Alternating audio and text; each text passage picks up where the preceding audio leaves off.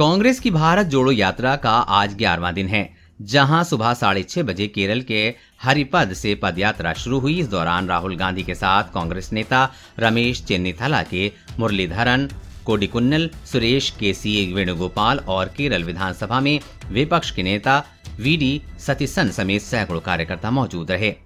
वहीं दूसरी ओर राहुल सड़क के दोनों ओर इंतज़ार कर रहे लोगों से मिलने के लिए बीच बीच में सुरक्षा घेरा तोड़ते नज़र आए। साथ ही उनका एक दिल छूने वाला वीडियो वायरल हो रहा है, जिसमें वो एक लड़की को सैंडल पहना रहे हैं। दरअसल राहुल गांधी पदयात्रा में लोगों का अभिवादन करते हुए आगे बढ़ रहे थे। उनके पास एक छोटी सी बच्ची भी चल रही थी। तभी उसकी सैंडल खुल गई। इस पर वो झुककर उसे सही करने की कोशिश करने लगे। तभी राहुल गांधी की नज़र उस बच्ची पर पड़ी। वो तुरंत नीचे झुके और उस बच्ची को सैंडल पहनाई। इसके बाद यात्रा फिर से शुरू हो गई। इस घटना के वीडियो को कई कांग्रेस नेताओं ने शेयर किया है, जो तेज़ी से वायरल हो रहा है। देश और दुनिया की हर अपडेट पाने के लिए चैनल को सब्सक्राइब करें।